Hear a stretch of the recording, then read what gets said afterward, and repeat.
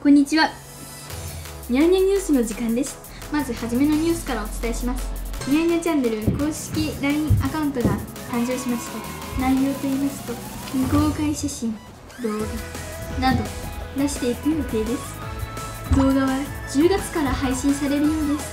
レポーターのここみさん。はい。レポーターのここみです。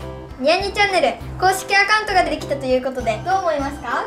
嬉しいです私も友達に追加しました。おおあ言ってしまいました。私も早速友達追加したいと思います。現場からは以上です。LINE で何ができるかというとメッセージを送信すると返事が返ってきます。ただ簡単な文字を入れてくださいね。おはようとかおやすみとかせいとかゴミとかそんな感じです絵文字を入れると返事ができません。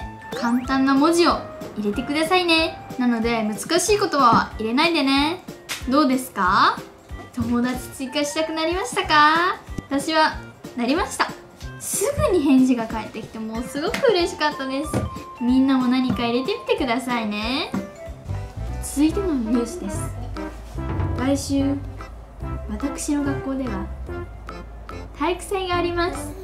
妹の小学校ではないみたいですが私はあります。これでニュース終わります。リポーターのここみさん。天気お願いします。はいリポーターのここみっす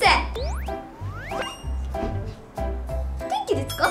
私天気予報士じゃないので天気予報さっぱりわかりません。誰かにインタビューしましょうか？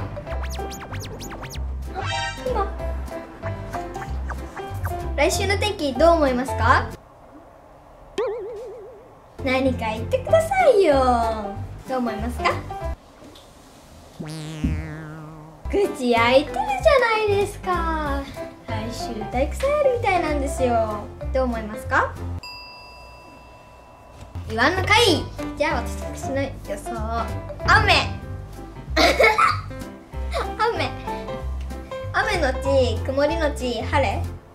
うんやっぱりうん曇りのち晴れで決まりです。曇りのち晴れ。じゃあ以上です。ここみさんありがとうございます。あんまり当てにならなかったみたいですね。LINE 公式アカウントは概要欄からチェックしてくださいね。これでニュース終わります。チャンネル登録お願いします